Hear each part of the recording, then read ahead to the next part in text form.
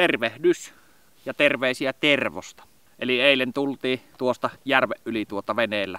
Pimeätä jo oli. En ruvennut siinä eilen sen kummemmin kuvailemaan. Siinä lämmitettiin mökkiä ja illalla kateltiin revontulia. Ja syötiin hyvin ja istuttiin, istuttiin ja höpöteltiin.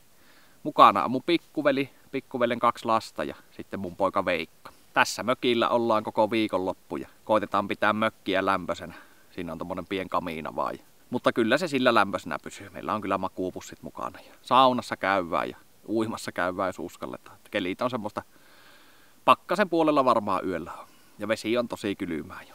Tänään meinasi tästä vene, veneellä mennä tai heittävät mut veneellä tonne järven toiselle puolelle. Tossa on tommonen Vaajavuori niminen paikka. Erinomaisen hieno. On se aikaisemminkin kuvannut, siinä on sellainen pitkä Uiperon lahelma, melkein kilometrin pituinen. Nousen siitä tonne vuorelle ja kuleen ton vuoren halki muikkurantaa. Saavat noutaa mut sieltä sitten. Käydään kahtamassa, että minkälainen paikka se on. No niin. Nyt on kiipeämässä tänne Vaajavuorelle.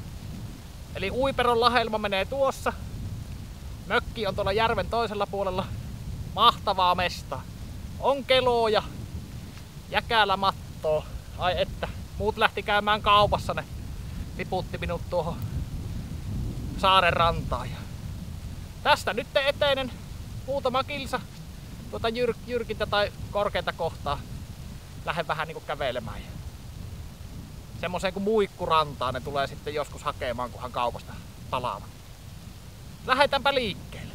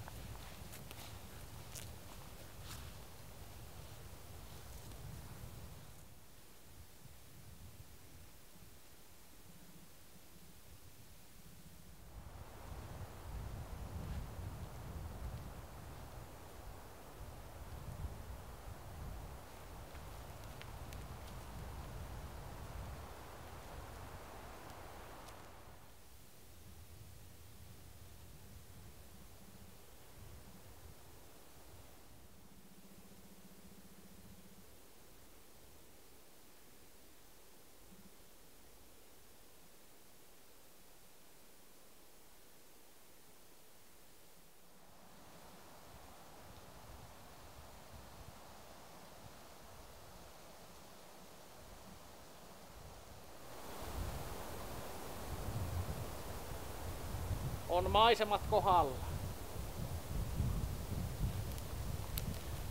Ja on tosiaan koskematonta metsää, eihän tää nyt ole sillä lailla syrjässä.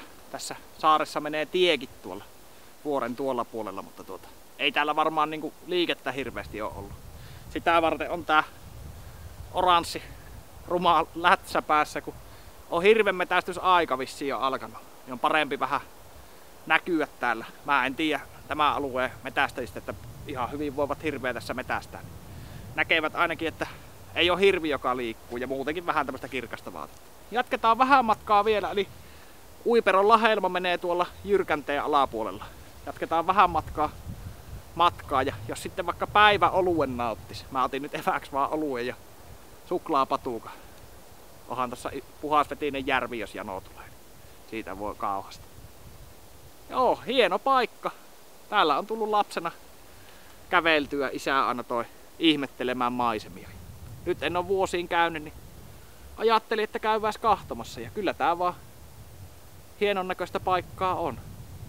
Huuhkaja tässä pesi jossakin.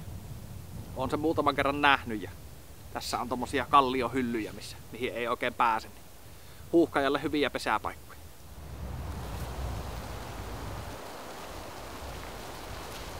Tässähän on hyvän näköinen kelo istahtaa. Pidetään kaljapaussi. Huh. Hiki meinaa tulla. Kulkurin päiväkaljana Laitilan kukko Sitra Lager. Maistetaanpas, onko tää mistään kotosi. Vähän kuohua, ei se mitään. Maistetaanpas. Ai että, on hyvä. Nyt on tässä Uipero Lahelma loppupäässä. Eli Lahen poukama on tuossa alapuolella. Voisin kertoa semmoisen vanhan tarina. Tarina löytyy Seppo Jääskeläisen kirjasta. Laitan sen kirjan nimen tähän yläpuolelle. Tunsin Sepon ihan henkilökohtaisesti, on melkein sukua mulle. Mutta hän on jo edes mennyt. Niin lainaan hänen kirjastaan pätkä. Uskoisin, että tarina on tuttu paikallisille, varsinkin jotka tällä alueella on asunut ja elänyt.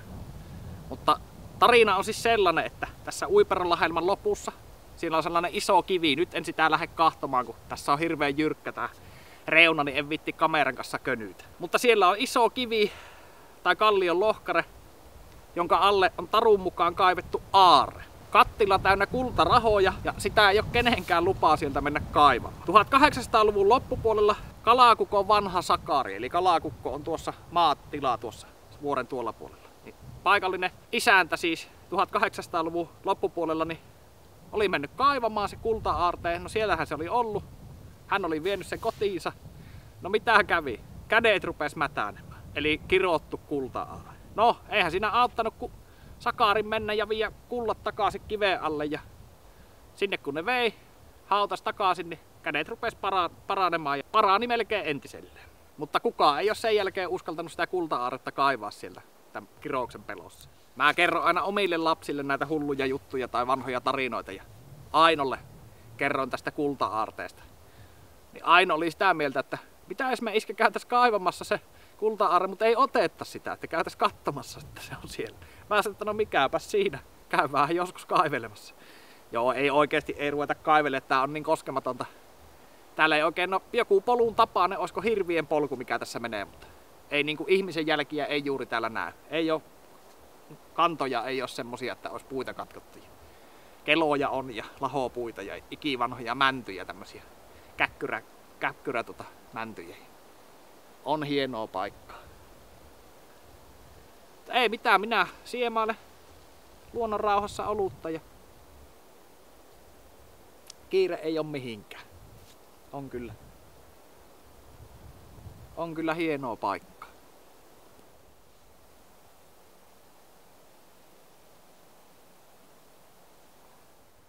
puolukoita näkyy olevan ihan hyvin.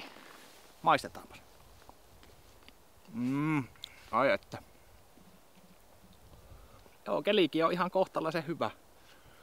Melko kylmäähän tuo yöllä on pakkasen puolella. Aamulla ihan pari astetta lämmintä ja vesi on jäätävän kylmää. Pojan kanssa mennä tätä uijaa, mutta saa nähdä, kyllä voi jäädä multa uimatta tänään. Vaikka saunahan siinä on, että pääsee sitä lämmittelemään joskus vuosia sitten täällä käppäili ja muistaakseni isän kanssa huuhka ja lenti. Isä ei huomannut, kun se lentää niin äänettömästi isän selän takaa. Mä tulin isän takana. Hujahti ohi. Sitten vähän matkan päästä löytyi kauriin pääkallo. Mä vein sen tonne mökille sitten varkaita karkottamaan. Mutta se on hävinnyt, olisiko joku elukka syönyt sen. Oo, ei mitään. Tässä onneksi on aikaa, ei ole mikään kiire. Matkahan tässä ei ole kuin varmaan kolme kilometriä. 3-5 kilometriä, että ei ole mikään urakka. Mutta saapahan rauhassa ihmetellä. Täällä on kaikkea omituisia sammaleita. Tai mä en tiedä, onko se omituisia, mutta jännän näköisiä sammaleita on. Jäkälää on valtavasti, on, on oikein niin kuin ilo silmälle. Tosi, tosi hienon näköistä seutua kyllä. Joo, mutta siemaillas pisse pois ja lähdetään liikkeelle. Hirviä nyt ei ole vielä näkynyt eikä karhuja, niitäkin karhujakin tässä alueella jonkin verran on. En oo itse kyllä koskaan nähnyt. Jatketaan matkaa. Kohti muikkurantaa.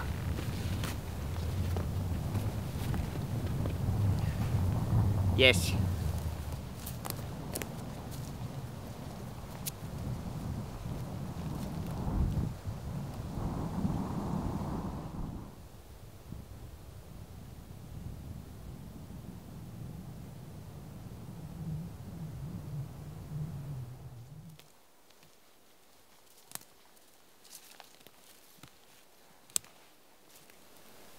Muikkuranta jo on ihan vieressäni. Minäpäs talsin sinne ottamaan venekyytiä. Jos sitten vaikka lähettäis Veikan kanssa kalalle. Katsotaan mitä Veikka on mieltä.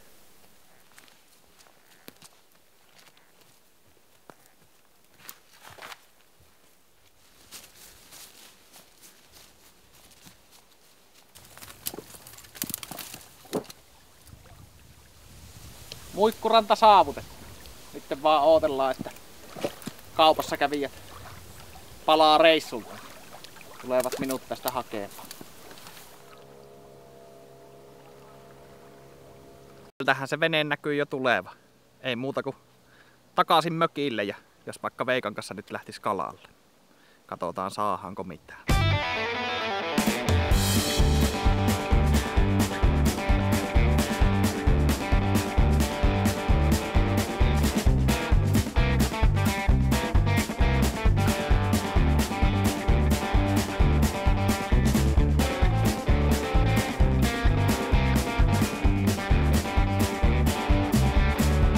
Niin, lähdetään kalalle. On melko kivinen ranta tässä. Ja silloin kun oli... Katsotaan, jos tota rantaveessa olisi haukea vielä. Me käydään tuossa syvänteessä myös isoa ahventa narraamassa. Tää on hirveän matala tää järvi.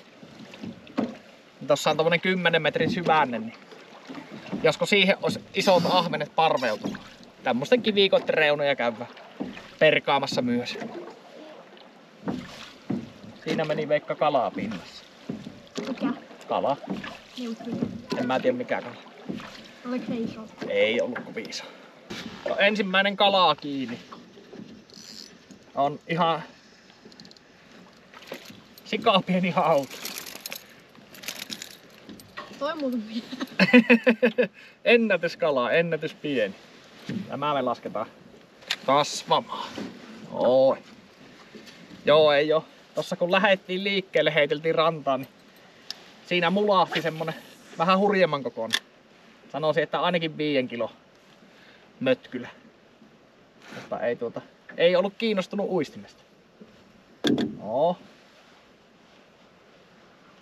Katsotaan. Tässä on mukavat rannat kalastella. Tää on hyvin matala ja kivinen järvi, tää Rasvankin, Rasvankin niminen järvi. Täällä saa olla myös moottorin kanssa aika tarkkana. Jos ei tiedä reittejä, niin suosittelen pysymään laivareitillä. On todella, todella tota hankalia kiikoja. Ei tullut kalaa, muuta kuin se yksi pieni hauki.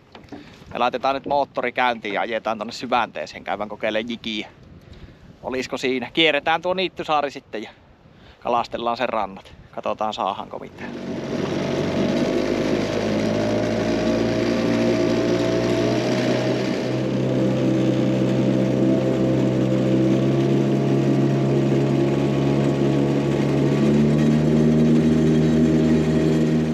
Tässä ollaan syvänteen kohdalla. Veikalla on jigi ja mulla on tommonen joku rapaala rätlin rap. Kaloista ei vielä oo tietoa muuta kuin se pieni hauki. Mutta heitellään tämän saaren rannat ja katsotaan olisiko siinä kalaa. Nyt ei iso kalaa oteta, jos iso hauki tulee, niin vapautetaan, että maksimissaan joku kilonen, niin ei jää syömäti sitten. Mutta isot ahvenet olisi ollut kyllä ihan jees. Mutta ne on piilossa. Kalastukset on nyt kalastettu. Kalaa onni ei ollut myöte. Minä sain sen pienen haue. Tuossa oli äsken pienhauki kiinni, mutta pääsi heti irti. Ja Veikalla ei tuntunut olevan tärppiäkään. Ei ollut ahvenet jikeestä kiinnostuneet. Ei mitään, pannaan kone käyntiin ja me lähdetään ajamaan mökkiä kohti. Pannaan sauna lämpöiseksi.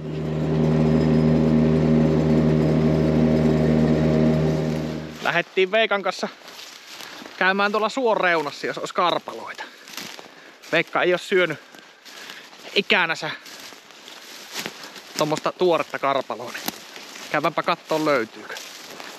Veikalla on lenkkarit jalassa, niin täytyy vähän tätä reittiä valikoja sille, että ei kaikista märimmästä mene. Ehkä me selvitään kuivin jalaan. Kyllähän täällä vaan karpaloita on ja aika reilusti. En tiedä näkyykö. Siinä on karpalo. Mm. Ai että. Mä annan taas Veikalle. Ole hyvä. Kiitos. Maistapa karpalo. Kerro mielipiteesi. Aika hyvää. Oliko vähän kirpeetä? Joo. Karpaloita täytyy vie muillekin lapsille, nekään ei ole maistanut. Niin. Tässä on mukava tämmönen järven lahelma ja suota, niin karpalot tykkää tässä kasvaa. Kerätäänpäs vähän matkaa.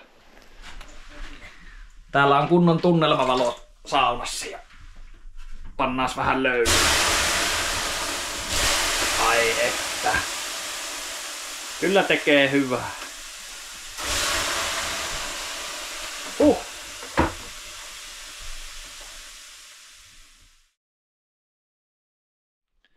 No niin, mökkiviikonloppu alkaa vedellä viimeisiä. Siinä on Veikka rinkka pakattuna ja kohta otetaan, pakataan vene täyteen tavaraa ja ajetaan tonne rantaan, missä auto on. Ja lähdetään kohti Keski-Suomea. Mikäs täällä mukavahan täällä oli olla vai mitä Veikka? Joo. Tää oli Veikalla ensimmäinen kerta tällä mökillä. Ei ole ollut vierailulla. Kelit oli ihan kohtalaisen hyvät kylmäähän tuo on pakkasen puolella oli yöllä vissiin joka yö. Nyt on vähän lämpöisempi, mutta on tämmönen aika sateinen keli, niin joutaa joko tiepäin. Siellä ne velipoika ja lapset pakkailee tavaroita. Eipä mitään. Tämmönen mökkireissu tällä kertaa. Palataanhan seuraavassa videossa. Moro! Sano vaikka moro. Moro.